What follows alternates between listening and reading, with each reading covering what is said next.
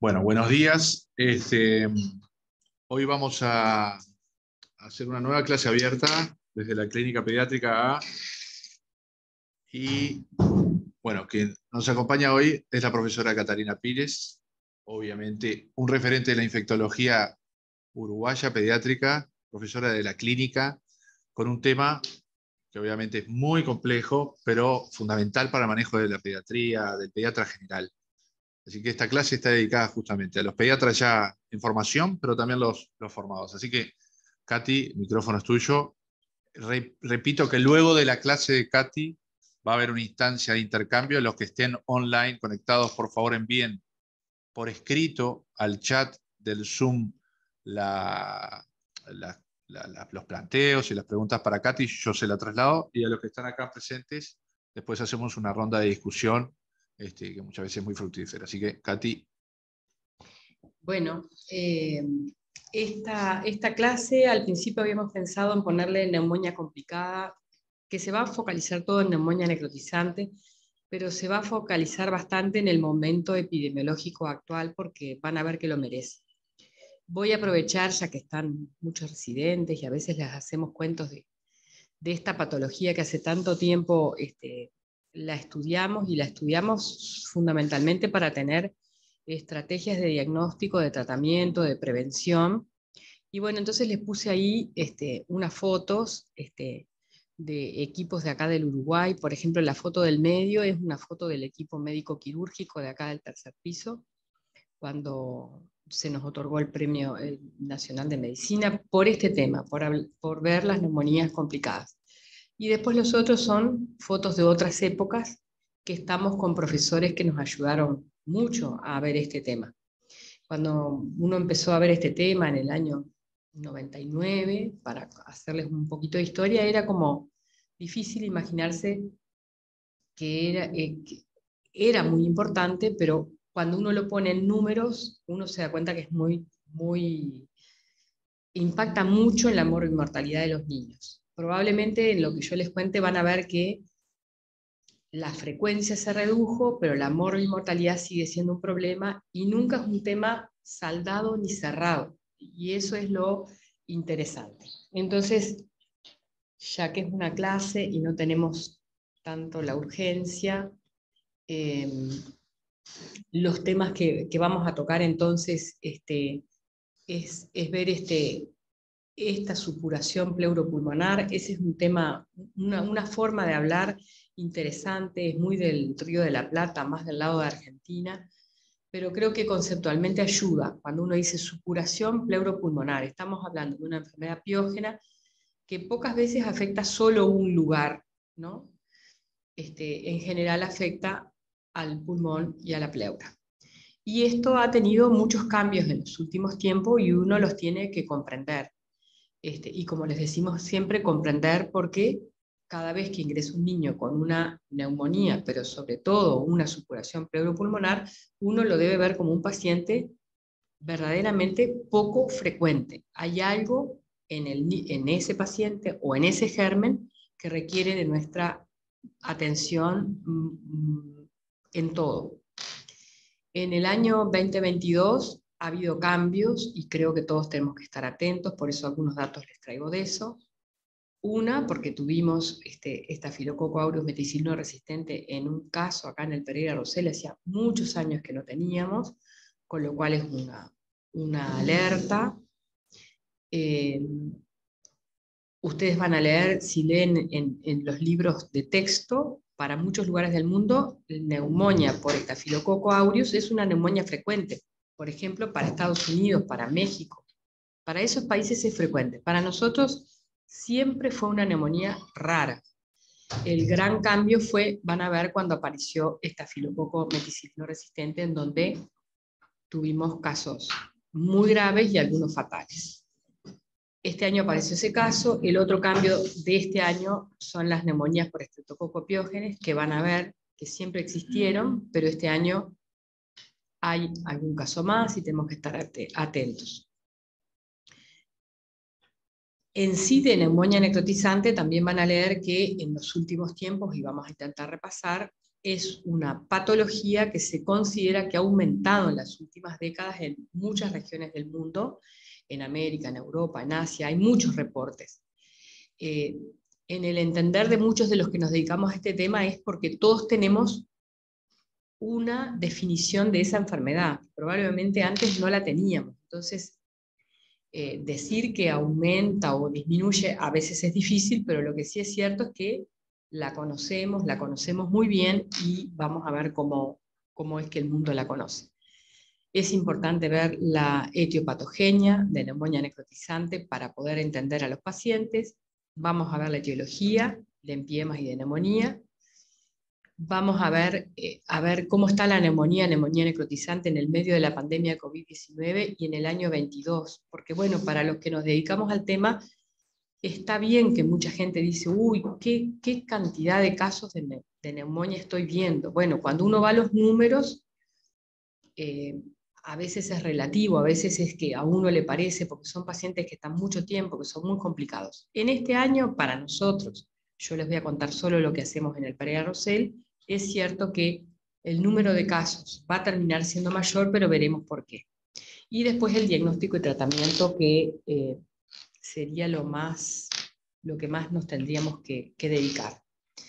Bueno, complicaciones de, la neumonía, ¿no?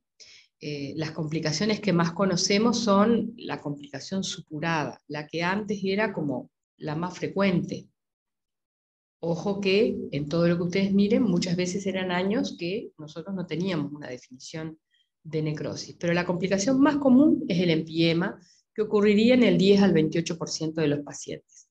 Los pioneumatoceles, como ven en esta, en esta imagen de acá, es otra complicación que se ve, o sea que es un niño que estaría evolucionando de su neumonía sin cumplir criterios de necrosis, es difícil que no los cumpla, pero bueno, el pioneumatocele puede ser una cavidad única con un nivel y esa es la complicación supurada. El absceso pulmonar para nosotros es muy raro, y la pericaritis, pericaritis purulenta, la pericarditis era una complicación que antes la teníamos y que uno no la debe de tener eh, olvidada, ¿no? Y después está lo que se llama la necrosis, que es a lo que nos dedicaremos hoy, que es una neumonía que tiene múltiples neumatoceles y criterios de neumonía necrotizante, o, sin criterios de neumonía necrotizante, pero nosotros lo dejamos acá en las múltiples discusiones que tenemos de este tema, es porque para muchos este, investigadores extranjeros que una neumonía tenga muchos neumatoceles, etiopatogénicamente y en su fisiopatología, es es que hubo necrosis. Pero esto es bien distinto de cuando nosotros hablamos de neumonía necrotizante, que ocurriría en alrededor del 10% de los pacientes con neumonía. ¿Por qué? Porque ahí tenemos que tener criterios clínicos y paraclínicos de que hay mucha inflamación. Y después está la gangrena pulmonar, que es muy rara para nosotros. ¿Qué otras complicaciones que se solapan completamente con estas dos? Es la sepsis, que puede ocurrir si hay supuración o si hay necrosis, y a veces están las tres, y por eso es la intención de que no se olviden que a veces la explicación no es muy fácil y no es tan lineal como uno pretendería. Muchos niños tienen supuración, pueden tener un empiema, un pioneumatoceles y necrosis. Y después, en, el 1% de niños que mueren, estas complicaciones también se solapan todas. Y es lo que uno tiene que tener en cuenta cuando los ve a los niños, ¿no? para poder entender uno al paciente y eh, manejarlo adecuadamente. Entonces, si bien la hospitalización por neumonía se redujo después de la vacunación con las vacunas conjugadas que parece una historia vieja, pero para nuestro país empezó en el año 2008, para el mundo empezó en el año 2000, o sea que estamos hablando de no de tantos años atrás, nos parecen muchos, pero no son tantos. Eso yo pretendo ahora mostrárselo y mostrárselo el trabajo de toda esa gente que, que se dedica a eso, pero alrededor del 20 o 30% de los niños que tienen neumonía asocian empiema 20-30% de los niños que vienen con empiema, que esos siguen estando, ustedes van a ver que a pesar de que hay mucho menos, es lo que ustedes ven acá. O sea, si a uno les dijeran qué sensación tienen ustedes, qué neumonias ven, no ven las neumonias lobares clásicas de las cuales mm, Creo que si escucharon la, clase de neumonía, bueno, esa es la neumonía clásica, en la que uno casi nunca tiene la etiología y es una neumonía de un lóbulo que no tiene empiema, que no tiene necrosis y que evoluciona muy bien. Este, que se dice en 14, en 24, 48 horas de tratamiento debe evolucionar bien. Pero de todos estos niños que tienen empiema, si el 20-30% de los niños con neumonía actualmente pueden tener empiema, es cierto que un 20-30% de ellos asocian neumonía necrotizante. A veces, a los que venimos viendo este tema a lo largo del tiempo, este, les da la sensación, y es lo que este año pasó, todas las neumonías tienen necrosis y todas tienen empiema, son las que nosotros vemos. ¿No? Eh, de lo que nosotros adolecemos, muchos países adolecen, es de no sabemos la base de las neumonías, que son las neumonías que a lo mejor se tratan en su domicilio, que todos tenemos, ¿no? que se tratan en su domicilio. Ahora ingresan muchas neumonías que antes no ingresaban, pero bueno, este es el panorama de cómo uno se debe pensar. Bueno, el 10, alrededor del 20% pueden tener empiema y de los que tienen empiema, un tercio van a tener necrosis y tenemos que estar preparados para eso. Bueno, tratar de entender lo de el em, empiema, que no es lo que vamos a, entender, a, a, profundizar hoy, creemos que es importante. ¿Y por qué es importante? Y no sé, me parece que este año hemos tenido algunos ejemplos de, de que nos permiten decir que no todo es tan fácil, ¿no? Eh, este, este, este artículo, si lo pueden leer, esto es, es una revisión que está excelente de la complicación de neumonía, y entonces les dicen, bueno, hay una neumonía que no tiene derrame, que tiene un proceso inflamatorio este, pulmonar y puede tener extensión a la pleura y lo único que va a tener es un dolor pleurítico que está bien que si nosotros decimos tiene dolor torácico, digamos, la pleura se inflamó, pero nunca llega a tener derrame y es la pleuritis seca.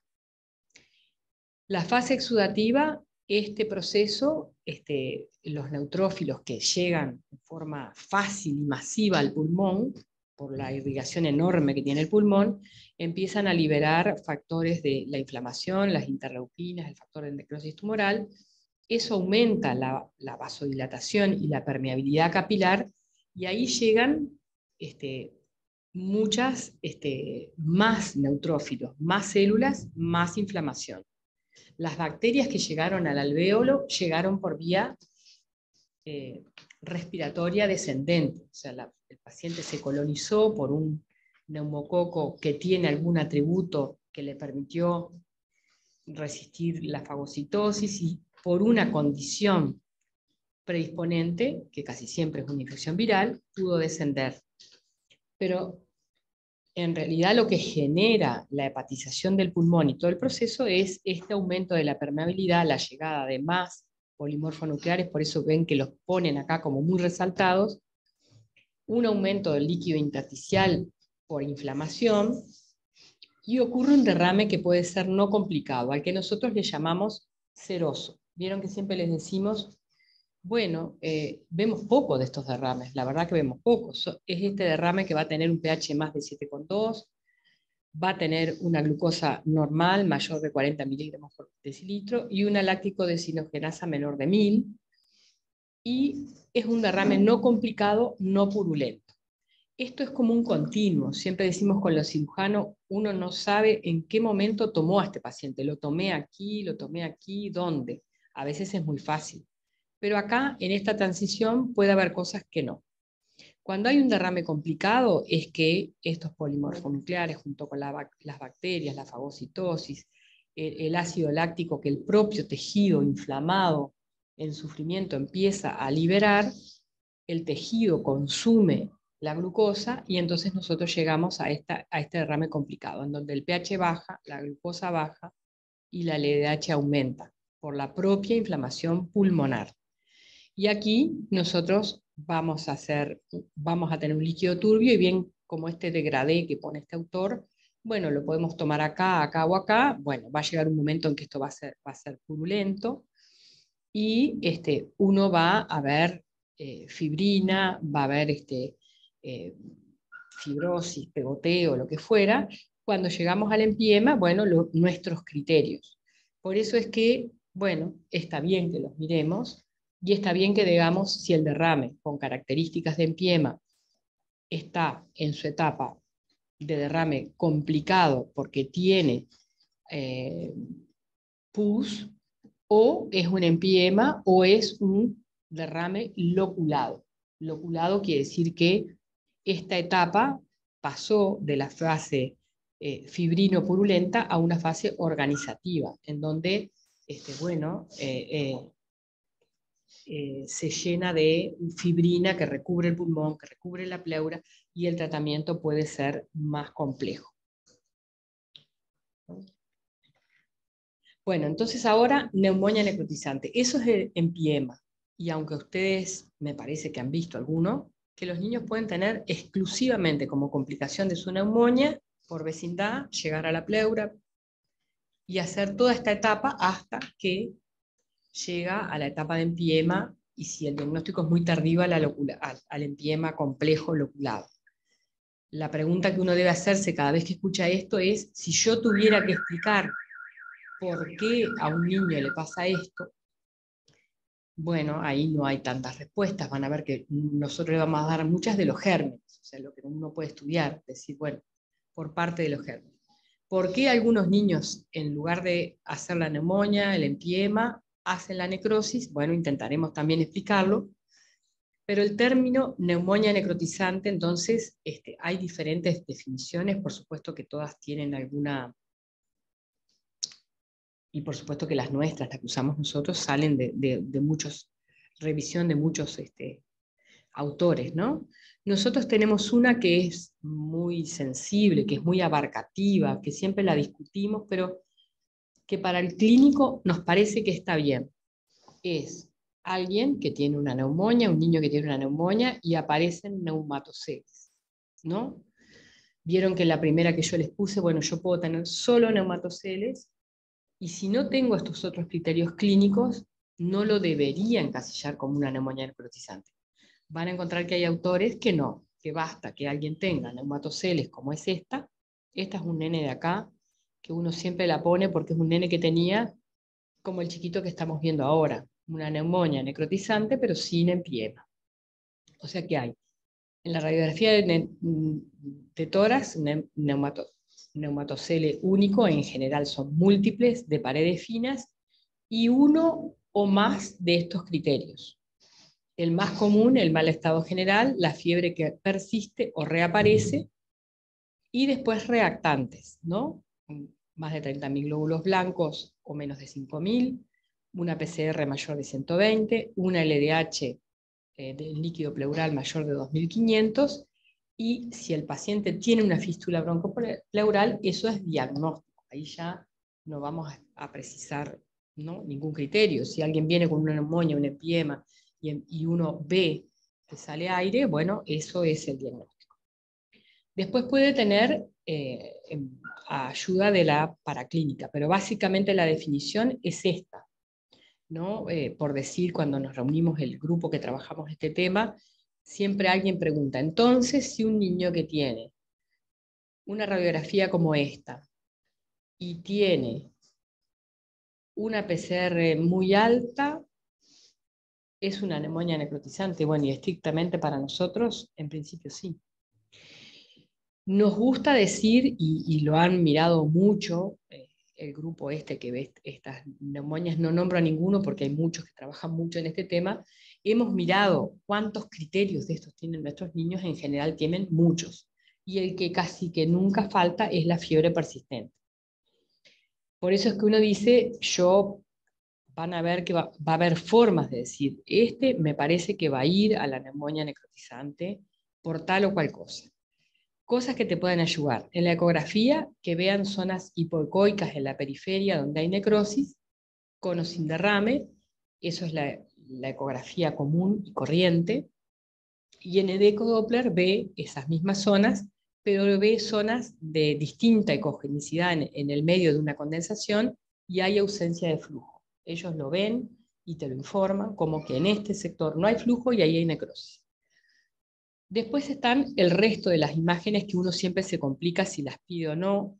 Es lo que yo les digo, en el resto del mundo, si uno tiene un, un paciente así, no es un paciente fácil, no es un paciente fácil de seguir, entonces, generalmente la confirmación de la necrosis pasa por tener una tomografía de tórax, cosa que en nuestro medio la reservamos. ¿no? Si ustedes miran la pauta, dice, bueno, la reservamos para hacerla cuando la evolución del paciente no es favorable y nos planteamos algo quirúrgico.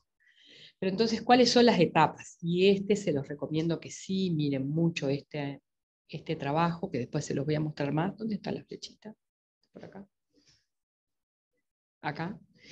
Bueno, la primera etapa, si yo saco una, tomografía de tórax a alguien que tiene necrosis, cumplió estos criterios y la saco, puede que yo ni siquiera vea los neumatoceles. Voy a ver una necrosis moderada, que son áreas que en la tomografía de tórax con contraste no hay realce porque la sangre no llega, pero no hay cavitación. Sería como esta primera. La segunda es la que hay cavitación, que yo la puedo tener a esa misma tomografía o a una radiografía de tórax, ¿no? Este, los mismos autores ponen la radiografía de tórax como la, eh, esta la ponen como moderada, si yo ya veo neumatoceles en una radiografía de tórax, es una neumonía necrotizante avanzada, ¿no? Neumatoceles. Y la que es una necrosis severa es cuando yo en la tomografía de tórax veo neumatoceles, neumotórax y una fístula broncopleural. Ese es el extremo en la que ven que estos autores ponen la tomografía porque la hacen. Ustedes van a ver que a veces nosotros esa herramienta no, no, no la utilizamos, pero no la utilizamos por una cuestión de dificultades por la anestesia, por el traslado y por la utilidad. Si cualquiera dice yo quiero certificar que tengo una neumonía necrotizante con tomografía, está bien. Lo que hemos aprendido los pediatras y los cirujanos juntos es que cada vez que uno ve estas tomografías de un niño, que a lo mejor es el niño que está ahí, uno entra a, estar más preocupado de decir eh, ¿qué, vamos a hacer, y capaz que eso se lo traslada a la familia, qué vamos a hacer con un pulmón que está necrosado, con una pleura que tiene, eh, hay una fístula, y hay, bueno, y, de verdad que del, seguimiento clínico uno sabe qué hacer sin la necesidad de ver esa destrucción parenquimatosa que hay. Uno ya la sabe que está y qué va a hacer. Entonces, la tomografía de tórax es con contraste y ve neumatoceles y ve zonas sin realces y ve hipoperfusión o ve todo lo que se ve ahí. Bueno, entonces, eh, en, esta bibliografía que, la deben de tener ya, uno siempre, ¿qué es lo que se imagina que está pasando?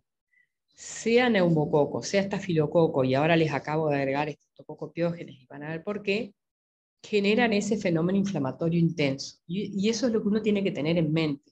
¿no? Como uno, a mí me gusta decirle que aquella frase que uno ponía en los, cuando escribía para el internado, y con el tratamiento instituido la evolución va a ser favorable, hay una cantidad de enfermedades infecciosas que esa frase no va. El tratamiento instituido médico, bueno, el antibiótico bajará la cantidad de microorganismos, el antibiótico podrá hacer eso, el soporte de algún lado respiratorio va a hacer algo, pero lo que nosotros no tenemos y el otro día en las jornadas de infectología se preguntaba si hay algún medicamento que nosotros podamos dar para controlar esta inflamación y no hay mucho. Entonces, eso uno lo tiene que tener en cuenta.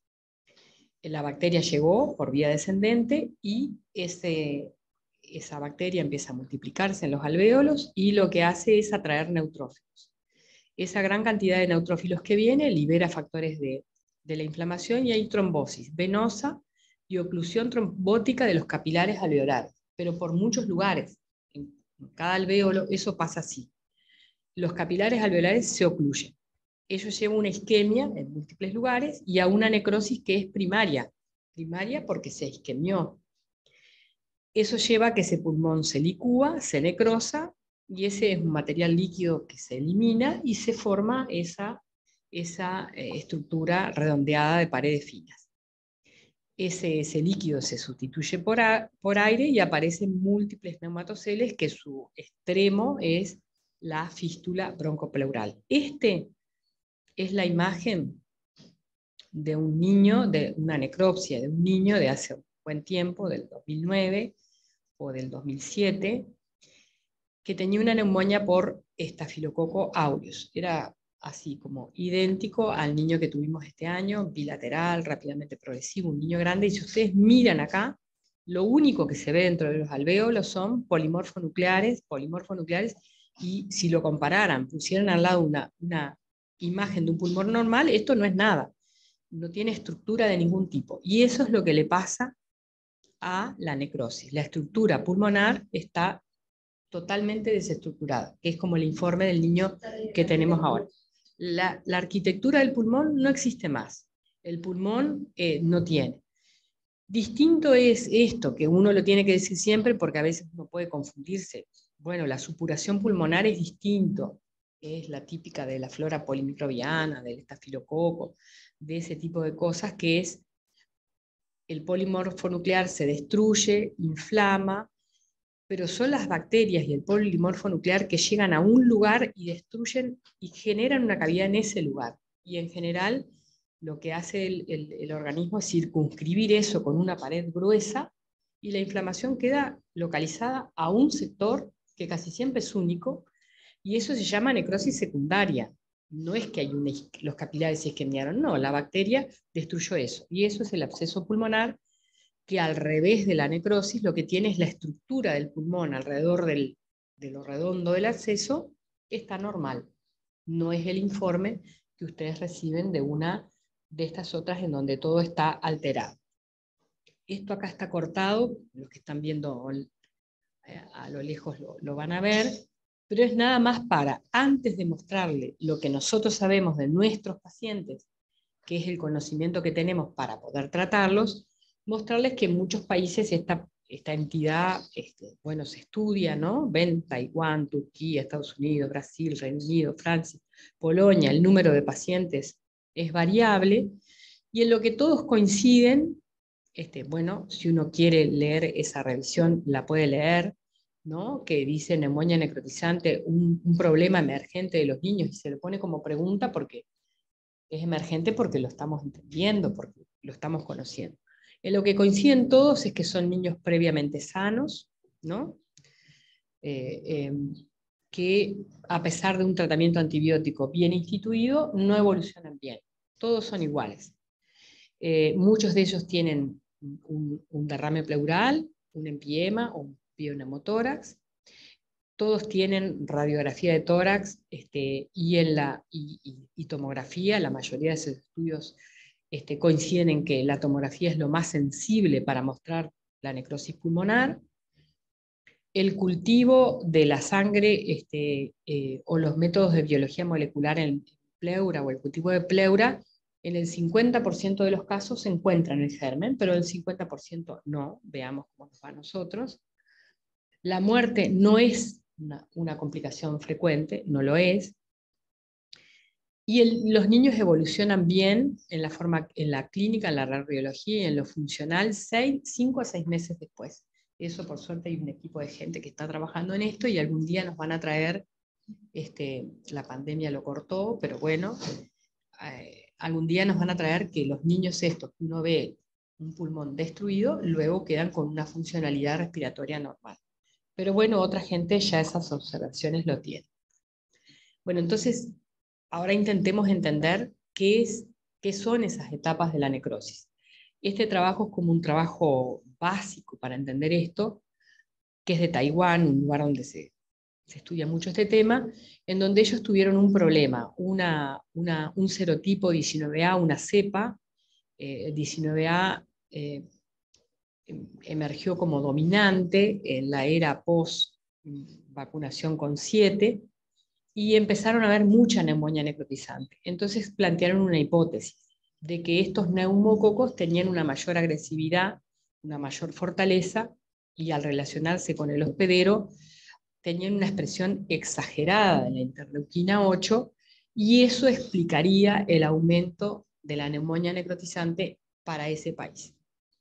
Después vieron que había otros serotipos que tienen esa, como el serotipo 3, que también, pero su, foco, todo su, estudio es sobre todo con eh, esta, esta cepa que era la de su problema. Entonces acá ven que ellos tienen, eh, este tocó con neumonía en pleura, por diagnóstico por, por, por, PCR, y tienen 22 que, eh, casos negativos y, y 72 que tenían en la pleura neumococo. Bueno, para decirles que por qué eligieron neumococo, porque a pesar de que el estafilococo es el agente número uno de neumonía necrotizante, para países como el nuestro, o como para ellos, o como para el mundo, eh, no es el más frecuente. El más frecuente es neumococo. O sea que casi siempre germen es ese. Entonces, cuando los comparan, lo que encuentran es que los niños que tenían el, el neumococo en pleura este, encontraron ahí que tenían más días de fiebre, pero ni siquiera les da muy significativo. Estuvieron sí más eh, tiempo internados, eso sí, y tenían una LDH bastante alta. Y después hicieron cuatro grupos para tratar de estudiar, eh, para confirmar esta hipótesis. Unos sin necrosis, uno con necrosis moderada, la figurita aquella que les mostré es de este trabajo, o sea, había necrosis en la, en la en la tomografía, pero no había neumatoceles todavía. Otros tenían cavitación, es decir, ya tenían los neumatoceles, y otros tenían fístula broncopleural. Y ven que eran pacientes bastante parecidos a los nuestros en el, en el sentido de que tenían fiebre, que tenían alguna de esas otras este, condiciones. Entonces, ¿qué hicieron? Lo que ellos hicieron fue medir la carga bacteriana en el líquido pleural y los niveles de citoquinas proinflamatorias, todas estas, factores en el proceso tumoral, interleuquina 1, 6, 8, otras citoquinas más, las midieron en el líquido pleural, las midieron. ¿Y qué, a qué conclusión llegaron? Que cuando había una carga, una carga bacteriana por arriba de 50.000 copias de ADN por mililitro de neumococo, uno podía predecir que quien tuviera eso iba a tener necrosis. O sea, si yo, para ellos, que lo pueden cuantificar por un gen al que cuantifican, como, como se cuantifica otros gérmenes, ¿no? VIH, virus, lo que fuera, ellos cuantificaron en pleura neumococo. Si había más de 50.000, acá está el corte, ¿no?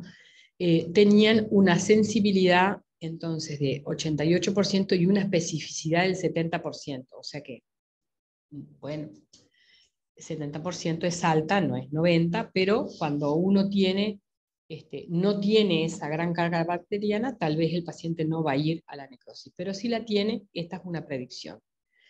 Y cuando fueron a mirar la carga, ¿qué, qué neumococos tenían más carga? Porque la hipótesis de ello era que era un neumococo que era capaz de multiplicarse, de ser muy agresivo, ¿no? Vieron que los que mayor carga tenían era el serotipo 19A en un 69%, seguido por el serotipo 3. Las conclusiones, o por lo menos a mí me es útil acordarme de esto cuando uno va a hablar con una familia y decirle, bueno, ¿y por qué? ¿Por qué le pasó esto a este niño sano? Porque los nuestros son niños sanos. Una carga bacteriana, una densidad mayor de 50.000 copias de ADN por mililitro de, esta, de este de este gen, el LIT-A de neumococo en el, líquido pleural, predice necrosis, predice que necrosa. Una carga bacteriana significativamente mayor ocurrió para, para serotipos como el 19A y el 3, y los factores independientemente asociados a la severidad de la necrosis fueron la carga bacteriana del líquido y la presencia de interleuquina 8. Y esto está en este trabajo, si ustedes van y miran, lo que les dio significativo es la carga pleural, no le dio significativo si las personas tenían más neumococos en la nariz, colonización, eso no le sirvió de nada. Sí, si tenían carga, carga bacteriana alta, sí, si tenían más factor de necrosis tumoral, interleuquina 8, todos esos le dieron los significativos. Con lo cual se apoyan en esa teoría que eh, su hipótesis la confirman para estos serotipos Y los distintos países tendrán serotipos diferentes, sí o no. Entonces, ¿en dónde estamos situados nosotros para cuando, y sobre todo para cuando uno habla con las familias, ¿no? O sea, yo lo escuché todo este año. Qué enorme cantidad de neumonias hay y qué graves que son. Y, y bueno, y entonces uno a la familia no le puede decir eso porque le podría terminar diciendo, mire, ¿sabe qué? Hay muchísimas neumonias, no sabemos mucho por qué, sabemos que hubo más, no, uniformemente en todos los centros, pero en muchos hubo más, eso hay que medirlo, pero estamos en el Uruguay. En el Uruguay, y para este hospital y para los otros hospitales es lo mismo, sean públicos o privados, antes del año 2008 había entre 800 y 1000 niños por 10.000 egresos con el diagnóstico de neumonía, que muchas eran como el 30% con empiema, pero muchas eran neumonias con consolidación. Esta que ustedes ven poco, pero eso estaba.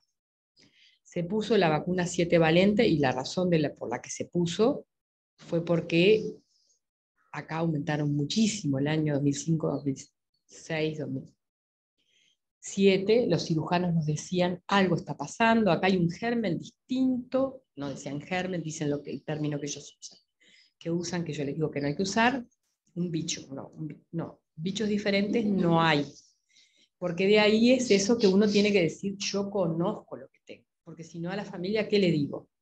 Nosotros veníamos desde hacía mucho viendo que habíamos confirmado que el germen más común era neumococo. Y cuando empezaban, la razón por la que se introdujo era que había muchas neumonias complicadas, fallecían muchos niños no acá, fallecían en el domicilio, ese dato estaba, y la decisión fue pongamos una, una vacuna que tiene siete serotipos, o sea que no es una vacuna, son siete vacunas distintas en una sola, que no tenían ese germen que los cirujanos decían que nos estaba afectando, que era un brote de serotipo 1, serotipo 5, que hizo estragos. O sea, la verdad que había muchos niños con empiema, con necrosis, porque son serotipos asociados a neumonía, el 1, el 5 el 3, y esos los teníamos. Sabíamos que esta vacuna no la tenía, pero nos sacaba la, nos sacaba la mitad del problema, que era el serotipo más común, el 14 y el 18C. Entonces se decidió poner, bajó. Cuando vino la vacuna 13 valente, que tenía el 1, el 5, el 3, el 19A, el 7F, otros, se puso la otra y cayó de estar en 100.000 a estar en alrededor de 120 por 10.000 egresos, 180 por 10.000 egresos. Entonces, nosotros vigilamos esto. Por eso vieron que siempre le preguntamos, ¿y es neumonía consolidante, sí o no? Porque si es una neumonía que yo dudo de si tiene una consolidación densa, no es lo que nosotros vigilamos. Nosotros cuando hacemos la vigilancia vamos, miramos las historias y decimos, bueno, no, dice que hay una consolidación lobar o no hay. Obviamente que alguna vez irá una neumonía inhomogénea Vaya a saber, pero es lo que el médico puso. Puso neumonía bacteriana como diagnóstico, no neumonía viral con coinfección, no esas. Y cuando uno compara esto, lo que ve es que hay un 80% menos de neumonía como ingreso, un 90% menos, una reducción del 90% y que es significativa, si ustedes lo ven, con respecto a la neumonía neumocóxica, y si vamos a los serotipos de la 13, un 93%. O sea que estamos en un ambiente en donde quien ingresa por una neumonía, uno tiene que mirar todo. Si el diagnóstico fue tardío, si el niño tiene algún problema de su inmunidad, o si tiene algún problema de su parénquima, como nos pasó con Delfina. Ya quien viene, a mí me gusta decir que es como después que uno vacuna así masivamente como Uruguay, como si pusieras un cernidor, ¿no? todos los que están bien vacunados que nos enferman, esos ni nos enteramos, no vienen. Si hacen una neumonía chiquita, no vienen. Arriba te queda algo que vos mm, no podés decir que es un paciente común, por más que a los que estamos acá nos parece común, es el paciente que vemos siempre. Estos son trabajos que se publicaron acá de empiema y empiema neumocóxico, o sea que vos decís, bueno, yo veo niños con empiema y es cierto que este año vimos el doble de niños con empiema que el año pasado, pero miren lo que era esto. entre el 2005 y el 2007, cuando estábamos muy complicados, la tasa era 111 por 10.000 egresos. Teníamos mucho más egresos que ahora, ¿no? Teníamos 15.000. En un año habían 200 en pie más, aquí, 200. Eso era lo que nosotros teníamos. Cayó a la mitad, 55 por 10.000 egresos, y cayó acá en 29. Y yo les insisto que estos son tasas, porque ahí es cuando uno tiene que empezar a hablar. Si uno va a los números, los números pueden ser más altos, pero uno tiene que ver el denominador, qué egresos tenía. Todo esto es con egresos por 10.000 egresos. Si va a los neumococos, la historia es parecida, 36, 21, 6. O sea que, pero esto que les estamos mostrando son cultivos o exclusivamente cultivos. Si uno le agrega otras técnicas diagnósticas, como les explicábamos en la clase esa que vieron de pregrado, antígenos o detección de ácidos nucleicos, la cosa cambia. Lo que pasa es que nosotros como hospital tenemos que hacer una vigilancia de lo que vigilamos toda la vida desde el 2003 y después ahora empezamos a hacer una vigilancia de cuando le agregamos otras técnicas diagnósticas, que en general lo que diagnostica casi siempre es neumococo. Bueno, esto lo deben de haber leído y está bueno, ¿no? Es el análisis de 10 años de, ver niños con neumonía eh, necrotizante. En estos 10 últimos años, eh, que son del 2000, mm, ya no me acuerdo, 9 al 18, está arriba, bueno, son 10, los 10 últimos años, pero va hasta 2018. Debe ser de 2008 a 2018. Acá está, 2009 a 2018. 2009 a 2018. Acá están los egresos, de tal forma que cualquiera pueda confirmar esto. Acá, si yo les contaba que antes a nosotros nos ingresaban mil y tantas neumonias, bueno, acá bajó. Acá 400, llegamos a 200, 173, hay años que aumentan, 2015, 2010 hubo mucha infección viral y aumentaron, 200, 161. Este es el número de neumonias consolidantes. Y el número de neumonias necrotizantes es esta y la tasa es esta. ¿Y qué porcentaje de niños ingresados por neumonía hicieron neumonía necrotizante? Bueno, ven que en los años peores es como el 10, el 13%, así que uno está preparado. Viene un niño con neumonía, el 10% de este problema le puede pasar. Así que esa frase, con el tratamiento instituido, la evolución va a ser favorable, finalmente va a ser favorable, pero a lo mejor esta es una enfermedad de evolución muy torpe. O sea que había 2.448 niños con neumonía, con consolidación pulmonar, 7,9 desarrollaron necrosis de todos estos, pero cada año variaba, ¿no? Es distinto, varía, hay años de 5, de 10, de 11%, de 10, de 13, y el 40% de los casos con necrosis eh, se hospitalizaron entre el 2009 y el 2011. ¿Y esto por qué lo ponemos? Porque son los años inmediatos a que cambiamos a la vacuna 13, que era la vacuna que podía controlar al serotipo 1, 5, 7F, 3 y 19A. De todos esos, bajaron mucho y el que persiste como remanente es el serotipo 3, que van a ver que, eh, que siempre dio necrosis pero como uno dice, yo tenía un problema enorme, lo logré bajar a la mitad, después lo logré bajar a la cuarta parte y me queda algo que para nosotros es lo que queremos controlar. O sea, uno quisiera que esto no ocurriera y bueno, y hay que ver cuáles son las estrategias y si tenés una estrategia para controlarla. Evidentemente van a ver más adelante que una de las estrategias es controlar las infecciones virales. Si se controlan las infecciones virales, eso parece que, surte efecto. Entonces, si uno compara este periodo, año 2009-2011, con recién incorporada la vacuna, que se estaban vacunando los niños contra años lejanos, 2012 a 2018, hubo una reducción de las neumonias necrotizantes. O sea, no es que, como en otros países que, por ejemplo, no vacunan para serotipo 3 ni para 19A, este fenómeno va en alza, en alza, en alza. Para nosotros no, no va en alza. Y, no es por defender la estrategia de vacunación y por cómo vacunamos, sino que es decir, este lugar, como país pequeño que es, como acceso a la vacuna y como buenas coberturas, que solo le sirven para protegerte de esto si estás vacunado tú, tu persona. ¿no? porque de la vacuna de neumococo se dice mucha cosa, ¿no? Ustedes escuchan el efecto rebaño, si hay muchos vacunados, los adultos no se enferman, eso es cierto, si hay muchos vacunados, los chiquitos no se enferman, pero para protegerte de desarrollar una enfermedad grave requiere que el niño tenga sus dosis y su refuerzo del año. Entonces, ¿quiénes son estos, estos niños? Son los mismos que ustedes ven.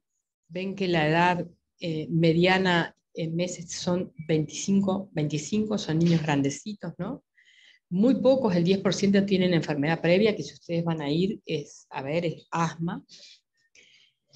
Para nuestro hospital el 78% tenía un, certificado de esquema vigente, o sea que eso es malo, un dato malo, que, nunca lo logramos como, cambiar mucho.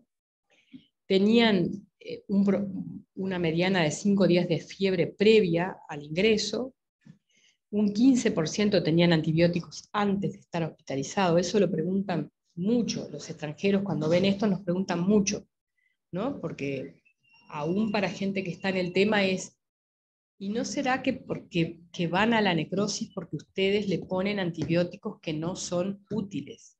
Y eso no es ni para nosotros ni para el mundo. Nosotros es cierto que usamos amoxicilina y ampicilina como antibióticos de primera línea para la neumonía común, en otros lugares del mundo usan otros, y es como decía lo primero que les mostré. Yo tengo el germen, es sensible y la evolución es esa. Pero acá muy poquitos tienen antibióticos previos. La, neumonía multilobar estaba en el 60% y tenían insuficiencia respiratoria, respiratoria del 61%, son niños graves. Y si ustedes miran acá, tenían proteína C reactiva de 265. Esa era la mediana. O sea que cuando uno dice, ¿para qué pido el reactante en una neumonía? Eso que los de Taiwán pueden medir como carga viral es lo que nosotros le decimos. Si ustedes ven una neumonía que está denso, denso, hay una condensación densa, ahí hay una carga bacteriana enorme en el alveolo. Y si ustedes ven que el líquido que sacan es pus y es espeso, ahí no, no, voy a decir que no sería lindo tener la carga y decir hay más de 50.000, pero si yo veo eso, yo ya puedo predecir. A este paciente no le voy a decir, va a estar todo bien. Bueno, vamos a ver, lo vamos a seguir. Este, de repente pasa que va bien. Hace poquito ustedes tuvieron uno que parecía que iba a ir mal y le fue muy bien, bueno, le fue muy bien, estaba en otra etapa. Pero entonces, esta proteína C reactiva muy alta te puede predecir que a lo mejor junto lo clínico a la radiología y la LDH, el líquido pleural, que fíjense que la mediana para nuestros niños con necrosis fue de 4.200, o sea que cuando vos ves más de, de 2.500 es que seguro le podés decir que sí. Son nenes graves, 40% van al CTI, 17% requirieron asistencia ventilatoria mecánica, 20% tuvieron sepsis, el 80% tuvieron empiema, o sea, muchos, y fístula broncopleural el 50%. O sea que a, veces esas cosas que uno dice, a todos les pasa todo, bueno, no a todos les pasa todo. A lo mejor le va muy mal en, en el pulmón, muy, muy mal, pero no tiene estas otras complicaciones que son nada despreciables. A la cirugía fueron solo el 8,6% de los niños en este tiempo, ¿no? En otros tiempos iban más. Y los días de fiebre persistente aquí para nosotros fueron entre en 7 y, y, fueron desde 0 a 25 días de fiebre. O sea que uno ya le puede ir diciendo, va a ser fiebre, va a ser tórpido, se hace una fístula, va a ser difícil. Y acá está, todos tenían radiografía, pero solo el 30% tuvieron tomografía. Y acá le pusimos el número de, de, tomografías que se hicieron, y de verdad que son pocas. Y el 37% usamos ecodoppler, con lo cual podríamos usar más.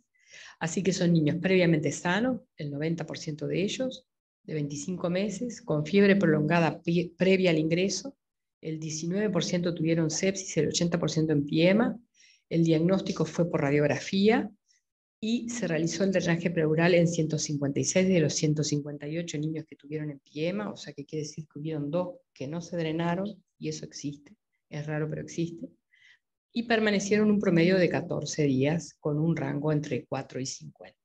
O sea que la internación es larga, larga, larga. Y cuando comparamos los niños con empiema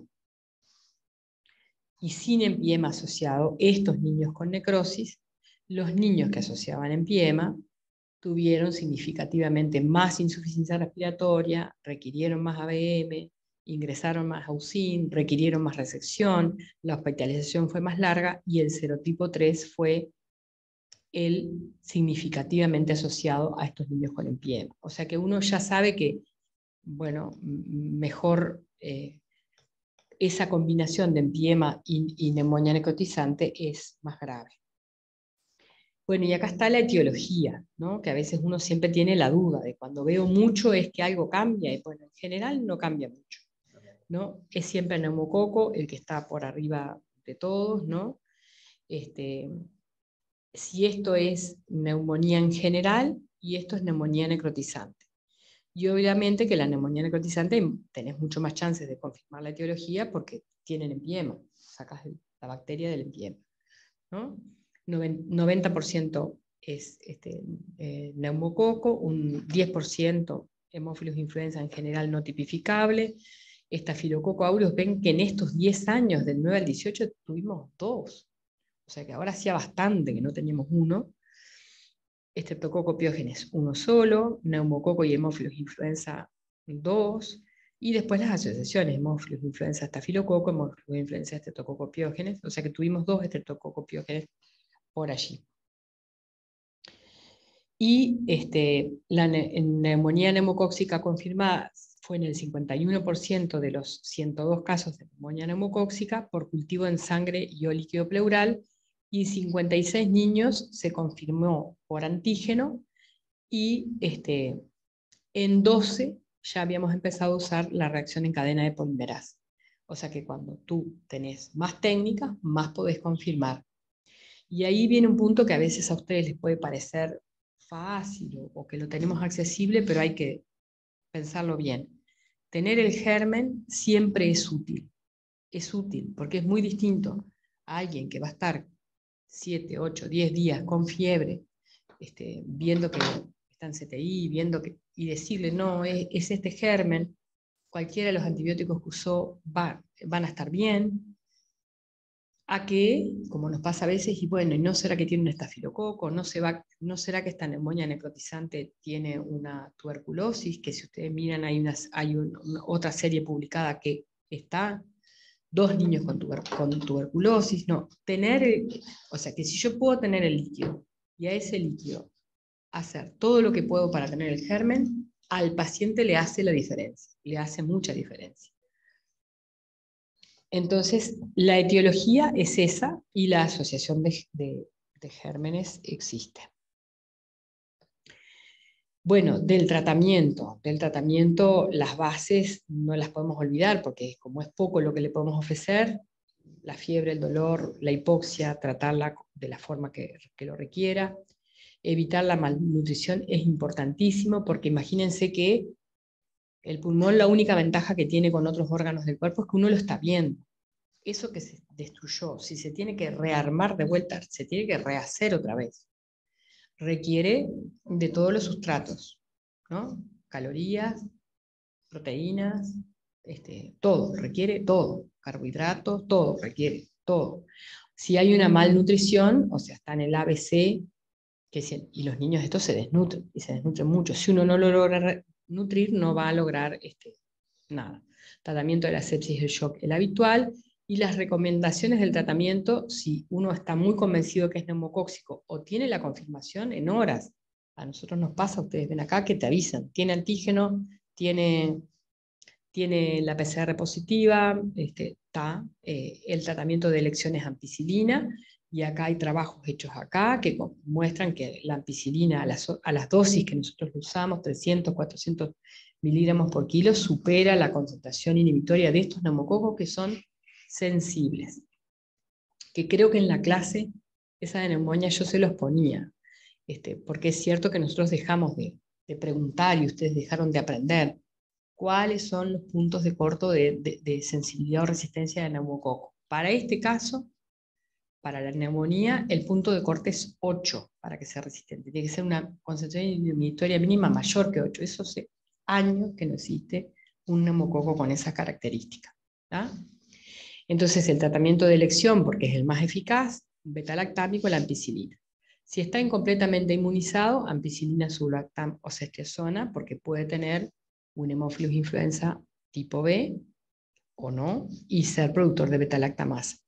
Si uno sospecha estreptococo piógenes o estafilococo aureus, y ahora veremos por qué lo puedo sospechar, asociar siempre clindamicina, eso podría ser una recomendación. Y si hay una sepsis o sospecha de sepsis, o sospecha de estafilococo aureus o hemófilos influenza y es un niño grave, nuestra pauta de neumonía grave es estriazona vancomicina y a veces aquí va más clindamicina si yo sospecho el estafilococo. El tratamiento antibiótico para la neumonía necrotizante o el absceso son las mismas consideraciones, o sea, vieron que los gérmenes no cambian, en el cuadrito ese que después lo van a tener, o si leen el artículo es lo mismo que yo tenga neumonía, el orden es el mismo. O sea que son las mismas, muchas guías en el mundo recomiendan cestiazona más clindamicina, muchas. Y el tratamiento quirúrgico del empiema y la neumonía necrotizante son el drenaje, los fibrinolíticos, que este año nos llamamos a la reflexión, cuando no los hacemos, a veces los niños evolucionan más tórpidos, o sea que bueno, está bien que cumplamos la pauta de que si el niño no tiene una fístula broncopleural, se hacen los fibrinolíticos siempre.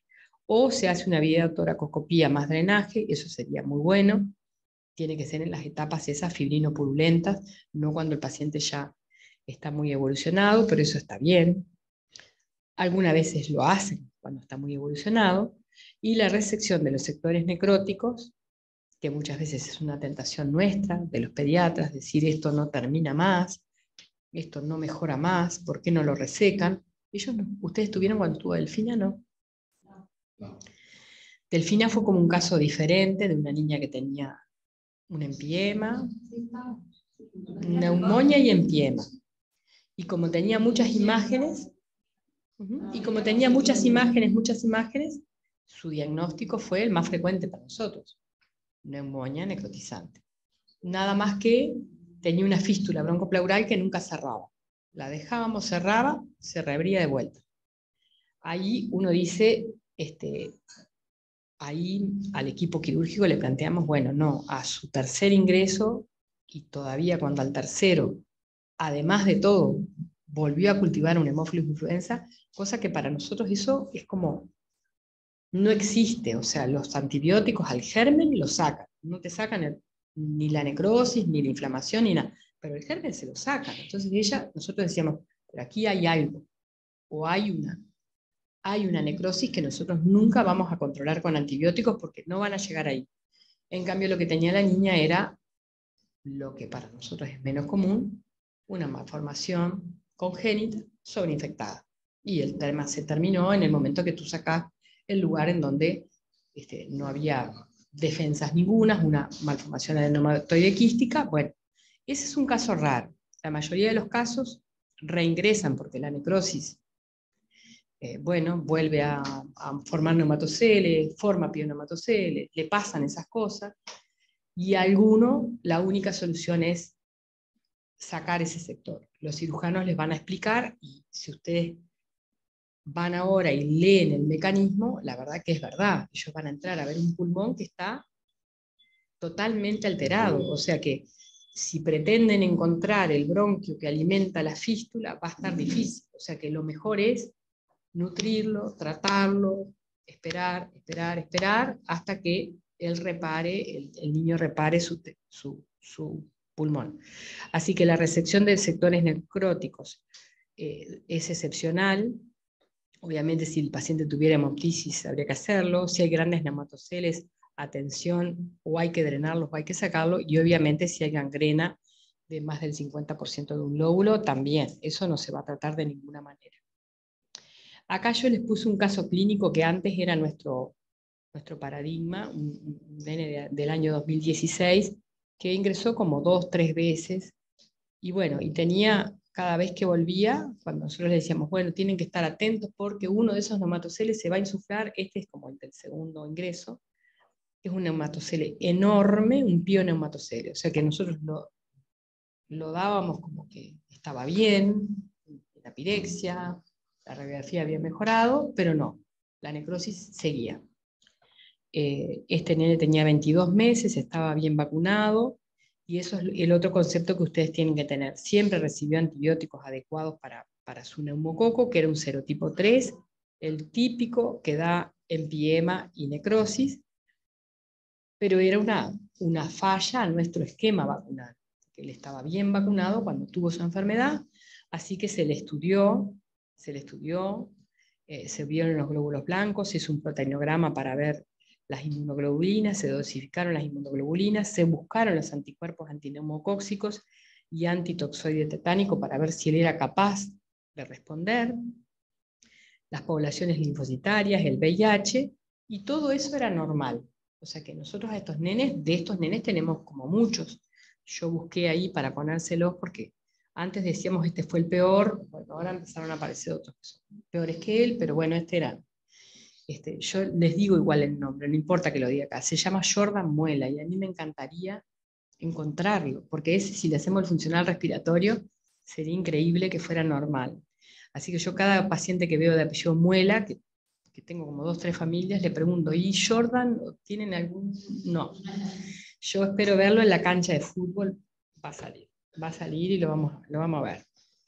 Bueno, ese nene era así, pero entonces, ese nene como ese hay muchos, pero este año ustedes tienen la impresión de que vieron demasiados niños con neumonía necrotizante, muchos. Entonces, la explicación es como esta, ¿no? Estos eran nuestros años, algunos muy horribles, como el año 16, yo lo tengo como uno de los peores años, en que lo azul es BRS, lo rojo es gripe, y ahora le agregamos eh, lo rojo es gripe y lo amarillo es el COVID. Entonces era un pico en invierno de BRS que subía mucho, mucho, mucho y bajaba, ahí era tremendo, y la gripe empezaba más lento y hacía un piquito posterior y nunca se olvidaba de venir en primavera y ahí causaba estragos. Acá, vieron, venía al principio del invierno y entonces nuestras neumonias, que la única monografía que sí tiene eso es esta que hicieron, este, eh, que, se hizo acá, que muestra, ven, pusieron por semana epidemiológica el número de ingresos de neumonía y ustedes ven como si las neumonias vienen al fin del invierno y en la primavera. Ahí vienen. Después que pasó la influenza y los virus respiratorios. Pero si ustedes miran este año, miren lo que fue. En el año 20 parecería que vino un virus nuevo, todos los demás virus dejaron de circular. Unos le podrán poner más énfasis en las medidas de, menor circulación, las medidas no farmacológicas para no transmitirnos virus. Yo creo que eso influyó, pero seguramente lo que más influyó es que apareció un nuevo virus y bueno, y generó esto. Nosotros eh, no hubieron, no hubo influenza, no hubo, no hubo otros virus. Acá abajo, este es el reporte del último, el de la semana, acá no, no está, pero es el de la semana 47, del 2 de diciembre de este año ven que normalmente hay virus, otros virus, acá están adenovirus, rinovirus, eh, los coronavirus comunes, el metaneumovirus es el selectito, pero siempre son menores que el BRS y tienen el mismo comportamiento. Vienen y se van, vienen y se van.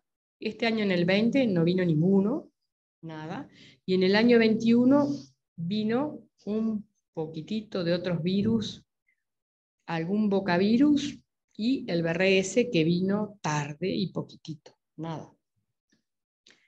Este año todo cambió, no solo tuvimos gripe desde diciembre, todo el verano, coronavirus, el, COVID, el SARS-CoV-2, muchísimo en verano, muchísimo en, la mitad del año, después bajó y, y tuvimos un BRS que fue larguísimo, larguísimo. Es, esto es diciembre, 2 de diciembre, y está todavía, y en el reporte dice, en países como en el cono sur, dice, influenza está en aumento. O sea que si influenza está en aumento, ¿no? yo ahí, eh, uno dice, la reflexión cuando uno mira esto, aumenta influenza, aumenta el SARS-CoV-2, está en aumento para nuestra región, para nuestro país igual, y miren los otros virus lo que fue en el año 22, estuvieron todos, pero mucho. Comparen esto con esto. Entonces, es lógico que si los niños estuvieron expuestos a esa cantidad de virus que exponen los receptores para las bacterias, o sea que neumococo, estos neumococos agresivos, cuando uno le tiene que decir a la familia, ¿y por qué a mi hijo? ¿no? Y todavía este año falleció un niño, o sea que, ¿y por qué? Este, uno dice, bueno, ¿y por qué? Bueno, porque tuvo una infección viral, que de las cuales nosotros tenemos vacunas para la gripe y para el SARS-CoV-2, pero no tenemos vacunas para otros. Este, la hipótesis es que los encontró muy faltos de exposición por el 20, por el 21. Se enfermaron muchos niños de esos que adquieren neumonía, el virus le altera todas sus cilias, le pone receptores, y si te encontrás con un serotipo 3 o con un serotipo 19A o lo que fuera, va a descender y va a causar eso. Entonces uno dice, Acá, si uno compara estos dos años, que son por semana epidemiológica, este es el 20, chatito. Si ustedes leen, hay mucha información sobre la coinfección de neumococo e influenza. Eso es así, ¿no? Para acordarse, el mal dicho es espantoso, pero que es así, ¿no? La gripe mal curada. La gripe mal curada o este, ¿no? que el, invierno te prepara, la primavera te lleva, este, es así, ¿no? Porque, bueno, eh, la gripe te prepara y después la neumonía te lleva. Y eso es así para los adultos, pero para nosotros, para los niños, es que nos aparecen los casos. O sea que si uno ve esto, no puede sorprenderse, no puede sorprenderse que haya ahora, ni puede sorprendernos con esta imagen de que este año tuvimos más neumonía y más neumonía necrotizante. No nos puede sorprender. Lo que nos debe preocupar es si las coberturas de vacunas no nos bajaron, que nos bajaron, para lo que somos nosotros algo bajaron, y nosotros ahora lo que tenemos que estar mirando es qué pasa con los niños que tienen COVID, tengas el diagnóstico o no, y lo posterior, porque vos acá tenés un nuevo virus que hace lo mismo, que hace lo mismo, altera el epitelio respiratorio, capaz que no te da una gripe en un niño grandecito de 2, 6 años, no le va a causar una gran enfermedad por influenza, le va a causar la complicación, que es neumonía, bueno, o otitis, que es lo más común. Esta es una nena de abril del 22, en donde hay cosas que no nos pueden pasar. Lo que le pasó a esta niña, y lo decimos acá, en, este círculo, que, bueno, una niña sibilante recurrente de tres años, eh, estaba la mamá con COVID, era abril, había mucho, y ella tenía siete días de fiebre y tos catarral. E ingresó a cuidados intensivos con esta neumonía neumocóxica con necrosis. Si ustedes miran, era todo necrosis y su empiema. Si ustedes miran esto, esta densidad y este empiema, ella va a necrosar. Si ustedes miran los, los reactantes que tenía, tenía una proteína C reactiva de 471, este, una procalcitonina de 5 y en el líquido pleural 13.000 de LDH. Cuando uno ve eso, nada. Lo, que peor que le pasó a esta nena era que la mamá llamaba y le decían que era todo COVID. Y, uno dice, a las personas con COVID, sean jóvenes, adultas o niños, les pueden pasar cosas muy malas. Esta nena tenía una influenza A. En el medio de todo eso tenía una influenza A positivo, ¿no?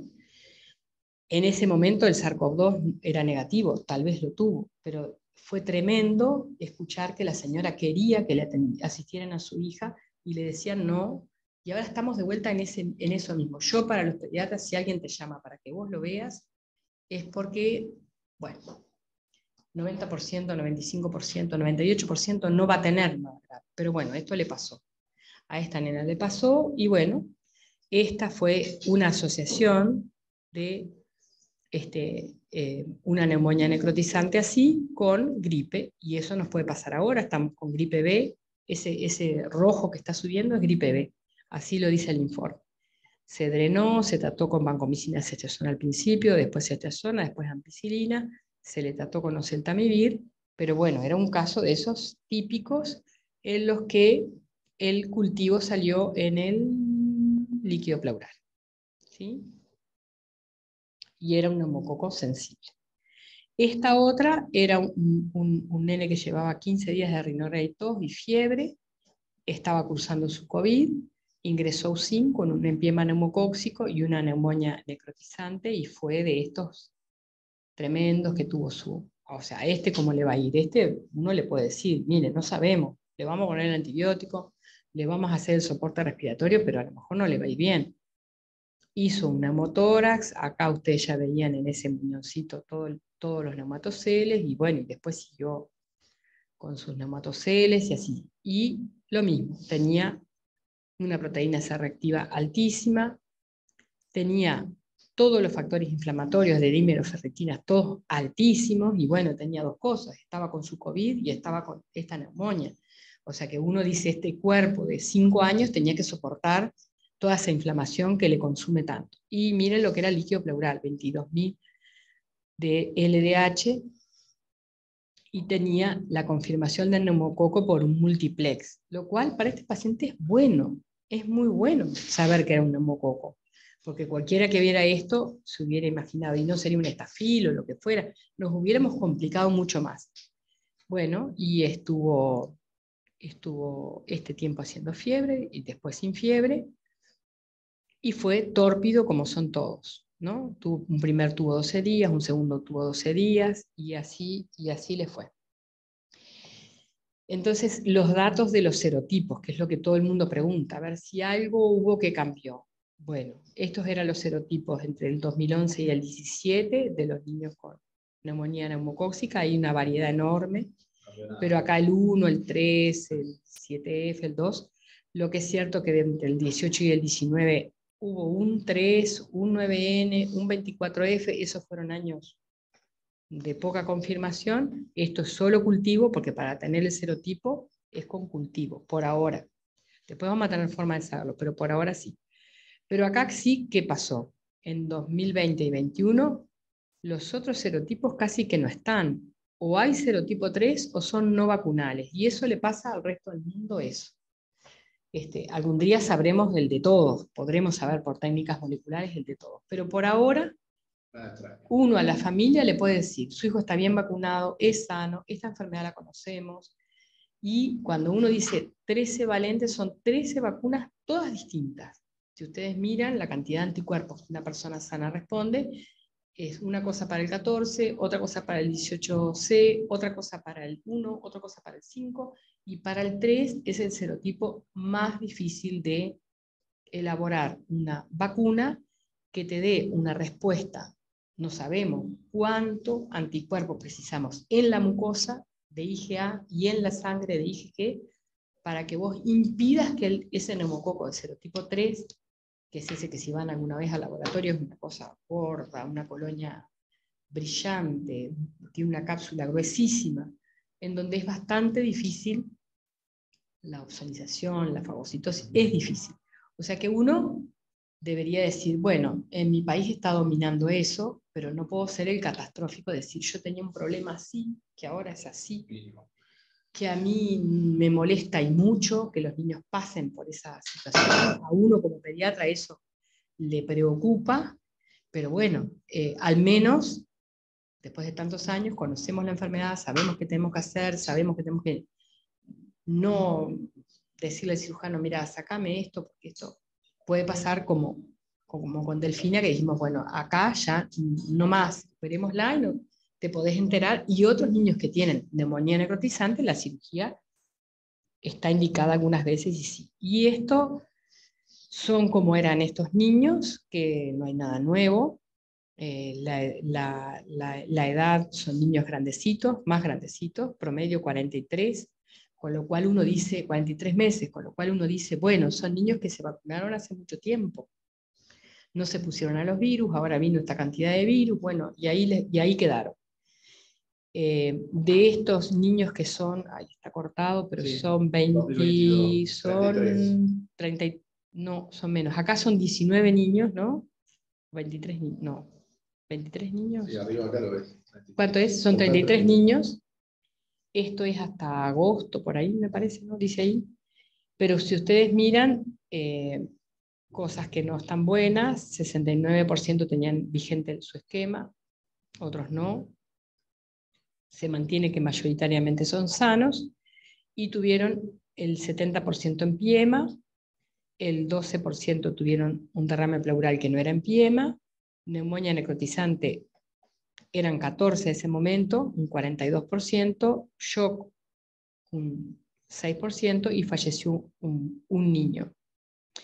Eh, y de ese, ese, niño que falleció, la verdad es que eh, es, hacía bastante, bastante no, en el año 18 había fallecido esa niña por un estreptococo pero bueno, hacía bastante que no fallecía acá en el hospital alguien por esa causa. Y la causa se mantiene la misma, hemococo, con todas las técnicas que tenemos, ¿no? 19 neumococos, 2 hemofilus influenza, hasta ahí era un estafilococo aureus porque faltaba Samuel, y otros que no teníamos etiología. ¿sí? ¿Y de dónde salen estos 19 neumococos? Salieron del cultivo de pleura, 6 por PCR y 6 por antígenos. O sea que eso que les decimos cuando, como cuando les decimos, cuando vos estés solo con tu paciente, hace la diferencia, que vos motivaste al, eh, ese líquido, lo llevaste al laboratorio, llamaste al del laboratorio, mirá que me importa, porque me importa. Porque si yo tengo un neumococo, todo lo demás es un problema de soporte vital, de cosas que yo no puedo manejar, porque la inflamación ni sistémica ni local todo es relativo, si pongo inmunoglobulina, si pongo corticoides, no hay nada muy preestablecido. De eso hablaban el otro día en las jornadas. Finalmente algunos pacientes les hacen inmunoglobulina, corticoides cuando están gravísimos, pero si eso cambia algo, en principio no cambia nada. Así que nos quedan las neumonias por estreptococopiógenes. Hay una monografía nunca publicada y siempre útil si estuviera publicada que tenía uno, dos, tres, cuatro, cinco, seis casos de estreptococopiógenes que los miramos mucho para ver cómo eran, porque esa es una neumonía que es gravísima. Evoluciona muy rápido y con todos los factores que tiene patogénicos que ustedes ya vieron, puede tener la neumonía y a la misma vez la sepsis y a la misma vez el shock tóxico y ser un desastre, o sea, que ser una infección que en horas fallece un niño. Como es el caso de esta nena que yo agregué acá, la del 2018 que decíamos el otro día, este, una, una niña de seis meses que tuvo una neumonía rápidamente evolutiva. Y bueno, ¿y cómo eran? Eran niños chicos, eso es lo que pasa cuando hay mucha estreptocoxia, los niños chicos los coloniza y causa la infección, y bueno, y, vieron que acá en esta época falleció uno, en este periodo 13-15, y acá falleció otro. Lo hicimos a la monografía esa pensando que nos parecía que eran muchos. Bueno, ahí fíjense ustedes en 13 al 15 eran 6, en el 18 apareció otro. Distinto es lo que nos está pasando como ahora en Paysandú, esta que les mostramos cuando, la, cuando las jornadas ahora, esta fue del 25 del 11, o sea que todas ahora en el momento en que hay mucha faringitis y mucha escarlatina. Y si ven, todos estos nenes venían con un cuadro de rinitis, tos seca, eh, agregó la disnea, tuvo una consulta previa y, y agregó un rash. Y ahí llegó ya con que lo que dominaba era, una neumonía con una sepsis que requirió un primer tratamiento de sepsis, con unos reactantes este, muy altos, con un toque hepático ya de entrada, ¿no? con una neutropenia brutal, una neutropenia, una eh, leucopenia importantísima y una neutropenia. Cuando uno ve eso es la sepsis, el freno medular, pero es sobre todo que a este lugar donde está la necrosis que esta niña la tenía, todos los neutrófilos, todos los glóbulos blancos van a ese lugar, a atacar el lugar donde está la infección.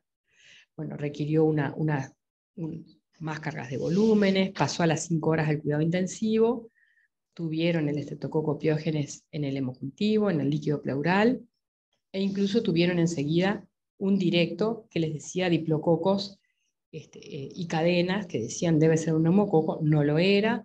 Esta niña tenía una erupción y tenía petequias, pero era una neumonía que después tuvo una tomografía que tuvo necrosis. Tenía imágenes aéreas multiceptadas, neumatoceles y derrame. Hizo una insuficiencia renal que requirió hemodiálisis, pero bueno, ha salido. Salió. Y después lo otro más llamativo, y es a lo que nosotros tenemos que estar como atentos, atentos, atentos, es lo que pasó en Salto. Estos tres niñitos, uno del 9 del 12, otra del 5 del 12 y otra del 6 del 12, o sea que son todos con diferencia de días, tuvieron distintas presentaciones, ¿no? Todos grandecitos, 7, 6 y 6 años, dolor abdominal, vómito, fiebre. Mm, este nene tuvo una artritis de tobillo, pero después ocultaron hipoventilación, la hipoventilación era una neumonía, taquicardia más tenida, bolos, pasó al CTI y tuvo un estreptococo piógenes en sangre. Y este otro tenía un eritema papuloeritematoso con un test rápido positivo en faringe y mm, pareció que era eso, que era una faringitis, y agrega peoría, reingresa porque agrega eh, más eritema y peoría, ingresó séptico y, bueno, y tuvo una, una neumonía con este, un derrame pleural y un infiltrado inhomogéneo que era una neumonía con su sepsis. Y este otro es el que ellos consideran que fue un shock tóxico porque era un nene que tuvo fiebre y una erupción escarlatiniforme con púrpura, eran petequias progresivas, más, las, más el púrpura que la erupción, le pusieron situación a banco, se fue al CTI, este, muy, muy grave, pero también le fue bien, se intubó, le fue bien. Entonces, cuando uno ve esto, no es lo que yo les mostré, no es el neumococo, que siempre el neumococo, y no, esto es distinto, así que uno diría que hoy, hoy, la neumonía adquirida en la comunidad ha tenido una reducción en la hospitalización y eso ustedes lo tienen que capitalizar. ¿no? Cuando nosotros le decimos, no, el que ingresa por una neumonía es, es raro, algo le pasó. Nosotros conocemos más al germen y le achacamos todo el tema al germen. Si no está vacunado es porque no está vacunado. Si tiene algún problema de su inmunidad será por eso. ¿no? Pero bueno, son menos, pero son mayoritariamente por serotipos que causan complicación, empiema y necrosis. En el año 22 tiene características muy particulares por esa circulación brutal de virus que hubo, de todos los virus, porque nuestro hospital a su vez recibe muchos niños del interior por el problema de que en el interior no los pueden eh, hacer el tratamiento quirúrgico, ni la toracocentesis, ni el drenaje, o sea que nosotros tenemos que ver, tenemos que ser capaces de comparar las procedencias de años previos con la de este, para al menos ese sesgo saber cómo manejarlo. Pero el año lo vamos a terminar seguramente, si eran 33, como con 40 niños con, en PIEMA, que es más o menos, si terminamos con 25, 28, va a terminar en 40, 40 y tanto. Habrá que ver si la tasa es más. Uno cree que sí, pero habrá que saber bueno, eh, ver, eh, tendremos que mirar con más atención si estaban bien vacunados o no. En general, nuestros niños los, están bien vacunados. Neumonía necrotizante y empiema es una complicación de esa patología y uno tiene que conocerla. El germen más común es neumococo y es sensible. Y hay que seguir investigando y vigilando la asociación de los virus con las bacterias. Definitivamente parecería que ahora este, eso es lo que hablan todos los investigadores, parecería que ahora que la infección viral te predispone a la neumonía neumocóxica, quedó, o sea, si lo sabíamos desde siempre, ¿no? Eh, lo sabíamos desde siempre, ahora parece que eso está así y que nosotros deberíamos este, de alguna manera involucrar a esta gente joven que viste que tenemos acá, están todos, están todos acá, están todos por aquí los que van a tener que seguir buscando. A uno le gustaría esas, esas neumonias por estreptococo piógenes, verlas bien, las pobres neumonias estafilocóxicas, tenemos una serie, monografías, mil, nunca las publicamos, o sea que alguien podría decir, para decir con la misma propiedad, o sea, todos lo sabemos porque son monografías que conocemos, pero con la misma propiedad son así, así, así, así, como la de Samuel. O sea, parece que nunca va a terminar, pero un buen día termina. termina. Un buen día le va a ir bien si no le pasa algo muy grave al inicio. Que al inicio, si, si los factores patogénicos se liberan, no, no va a haber este, en gran cantidad, bueno, pasa. Así que bueno, me parece que juntando esto con, con la clase de neumonía, a lo mejor un poquito más podemos avanzar. Gracias, Katy. Una cosa, ahí eh, todavía quedan colegas conectados que se fueron, bueno, había policlínicas a la vuelta, había gente que entrara, entraban, salían.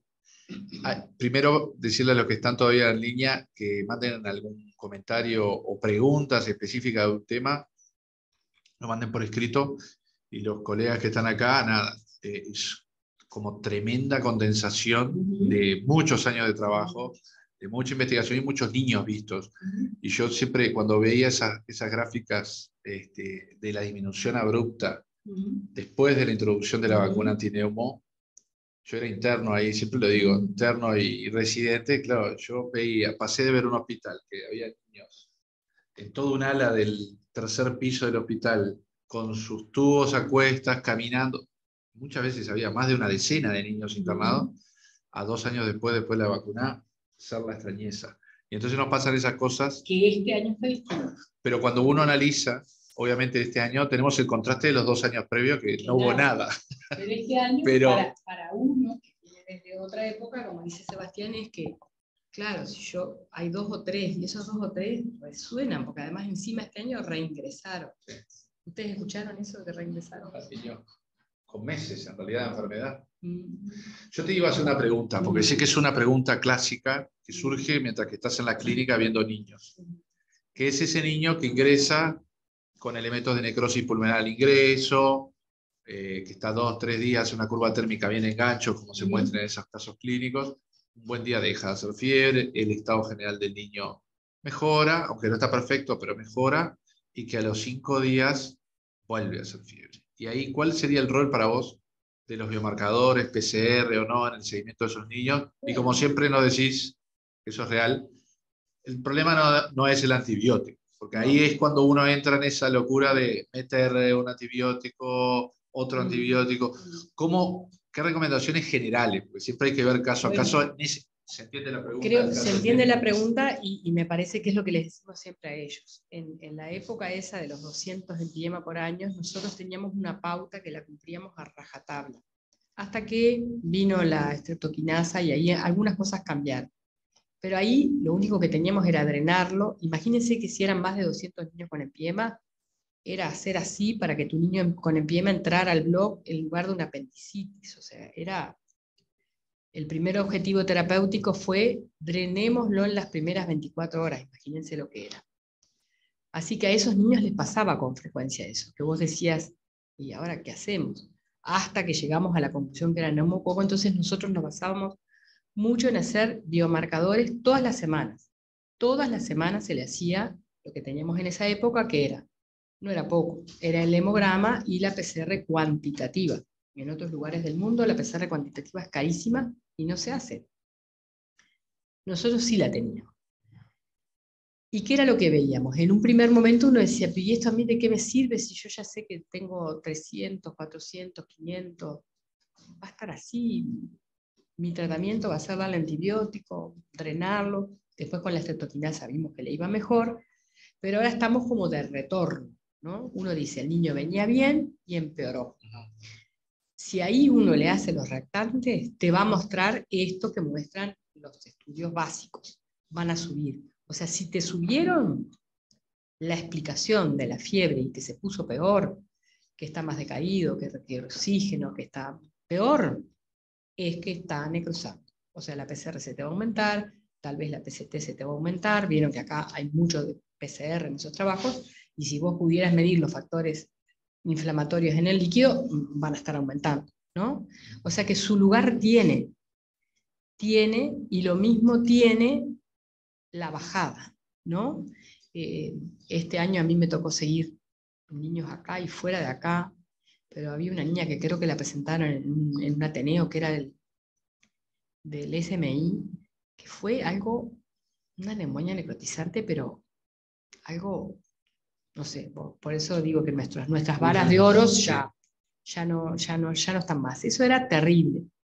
En el medio de una radiografía espantosa, la niña fue mejorando, dejó, o sea, tuvo su fiebre, va, mejoró, volvió y los reactantes volvieron. Y después fue mejorando, pero vos decías, con esa radiografía, era algo, pero muy, muy malo. Entonces, pero ella estaba muy bien. Y los médicos de CTI la querían pasar a la vía oral. Y ahí la que dudaba era yo, digo, a la vía oral, a la vía oral, estando así. Yo digo, bueno, entonces yo voy a poner, si tiene menos de 20 de PCR, pasa a la vía oral. Nada, tuvo menos de 20 rápidamente. O sea que te sirve, te sirve para saber si va mal y también te sirve para saber si va bien, que increíblemente va bien. A algunos niños les va bien.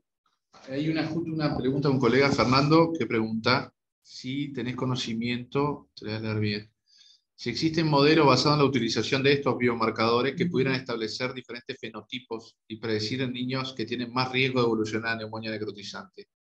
Algo similar a lo que se está desarrollando para sepsis, con modelos de medicina de precisión. ¿Hay algo de eso? Sí, algo de eso hay. Eh, nosotros tenemos nuestras limitaciones, ¿no? Eh, si leen estos trabajos de estos autores de Taiwán, ellos como que esas cosas las, las pueden seguir, ¿no? Eh, medir interleuquinas es algo que se está haciendo.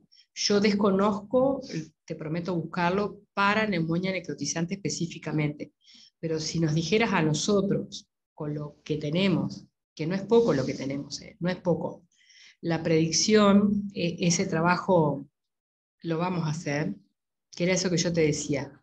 Si bien es cierto que nuestra definición es muy amplia, y un nene puede tener una es una PCR alta, y yo decirte es una, una necrosis, pero cuando vos vas a mirar, la mayoría de nuestros niños tiene un factor predictor, que es si los leucocitos, los leucocitos no tanto, pero si la PCR es muy alta en sangre, más de, ahí dice 120, pero la nuestra si es más de 250, 300, eso. Si tenés una LDH en líquido pleural más de 2500 y tenés leucocitosis o leucopenia, la necrosis, la predicción de la necrosis está. Eh, eh, ese trabajo lo tenemos en, vistas de, de hacerlo. bueno lo que dijiste de la cantidad o la calidad de la condensación. Ahí está. eso, eso, es así. O sea, blanca, blanca. Blanca, blanca, blanca. Eso no hay que menospreciarlo por varias cosas. Uno, para no decir que le va a ir bien, capaz que no le va a ir bien. Dos, para saber que eso lleva mucho tiempo de evolución. ¿no? Eso nosotros no lo logramos cambiar y ven que en el resto del mundo pasa igual son niños que están en su casa con fiebre cinco días. Hay un trabajo bastante antiguo de predicción de empiema, de acá del hospital, y que ya el hecho de estar un día en tu casa con polimnea te predice que vas a tener empiema. Y cuando vos haces la historia de estos nenes, estos nenes estuvieron con fiebre y polimnea. Entonces, ¿qué es la predicción? yo le agregaría eso. La opacidad, el tener empiema, porque el tener empiema te agrega más inflamación, la PCR alta y la LDH alta en pleura. Eso casi que no, casi que es el predictor. Y no son esos líquidos pleurales dudosos que está un poquito baja la No, pero hay niños como esa fotito que yo les puse, como un niño que está ahora acá internado, que tienen necrosis sin tener empiema. Eso existe, sí, eso existe. Pero eh, el predictor sería eso. Eh, capaz que, bueno, podemos ver a alguien que nos use nuestros, nuestros datos ah, y, diga un predictor. El predictor clínico es ese, ¿no? Pararse al paciente y decir, esto va a ir lento, si se complica no se preocupe, porque nosotros sabemos cómo, cómo nos vamos a guiar. Y los cirujanos dicen lo mismo, además, ¿no? A ti, última de mi parte, no sé si alguien tiene algo. ¿Cuándo en estos niños, que son internados muchos días, muchas veces semanas, con estas evoluciones tórpidas, fiebre que sí, que el reactante baja, o sea, una evolución de una neumonía bien complicada. ¿Cuándo entra en mi planteo clínico la tuberculosis? ¿Se entiende? Sí, sería cuando entra otro germen. cuando, e, esa pregunta yo no, no se las dije para simplificar, pero es la que uno dice siempre. Si a mí me va mal con un niño, o es porque hay inflamación, necrosis, todo esto, o el germen que estoy tratando es resistente, o hay otro germen, o hay una enfermedad de base que yo no encontré. ¿no? El caso del FINA. Le va mal, pero lo que tenía era una malformación infectada. Otra cosa. cuando yo me planteo otro germen que no sea estos, estos tres o cuatro, estos tres o cuatro. Por eso es que uno dice, una cosa es jugar con el germen, la mayoría de las publicaciones son súper prolijitas, todas tienen el germen, tratar a un paciente con germen es una cosa. Cuando yo empiezo a pensar que en otro germen, bueno, cuando de verdad, si ustedes miran, en, realidad el promedio de internación son 15 días, y las curvas térmicas son horrorosas, pero mejoran y lo que te queda es la fístula. O sea que uno diría, alguien que persista febril, que los reactantes aumenten y que de verdad, en general esos niños pasan por diversos planes, y vos decís, el germen tiene que ser absolutamente otro. Y eso es lo que nos ha pasado con los dos niños con tuberculosis. Es, tú pusiste todos los planes antibióticos y pasan los 15 días y no, no va a ningún lado. Y como les digo, si ustedes miran aquello de que la pleuresía tuberculosa es serofibrinoso, con dos empiemas que tuvimos ya está, suficiente. Uno ve un empiema y dice, va y pregunta. O sea que si me va mal, uno diría, ¿cuándo te va mal? ¿Cuándo vos harías jugar a la tuberculosis? Y la vas a hacer jugar siempre, porque ante la duda es un germen al que no estás tratando, definitivamente, porque todo lo demás lo estás tratando si va un CTI hasta, por ejemplo, ellos son tan jovencitos que y se lo nombramos. Cuando yo empecé pediatría, se decía que estos niños, el agente era Klebsiella. Y si ustedes miran, Klebsiella es el agente de neumonía en adultos, pero en niños, en realidad en, el 99 empezamos a, entrar, a, ver esto por eso, porque decían, no, acá estas cosas van mal y los empiemas están y los niños van mal porque debe haber una Klebsiella muy rara o mala. No, no había Klebsiella, no. Nunca vimos un niño con Klebsiella. Siempre fue el Vimos un niño con pseudomona o dos o tres, pero con Klebsiella no. La Klebsiella da neumonía por capsulada. Entonces, ¿cuándo vas a entrar a jugar el, el, la tuberculosis una vez que lo pensaste? Si lleva 10, 15 días de fiebre y no evoluciona. Y bueno, y ahí verás cómo está bueno, por eso las videotoracoscopías son buenas cuando las pueden hacer, porque miran, ven que es lo habitual, no ven granulomas, no ven nada. Yo creo que uno esperaría, ¿no? Uno diría, si en 15 días todos, la mayoría se resuelven, si vos en 10, 12 días no hay respuesta, ahí hay un germen que no estás tratando y ese no lo estás tratando ni con meropene, ni con panco, ni con cetiazona, ni con clindamicina, ni con ninguna de las cosas que usamos nosotros. Bueno, no sé si alguien tiene, Emilia, algo. Bueno, vamos dejando por acá, después va a quedar disponible online para los que no pudieron estar. Y bueno, gracias, Katy, por el rato. Gracias.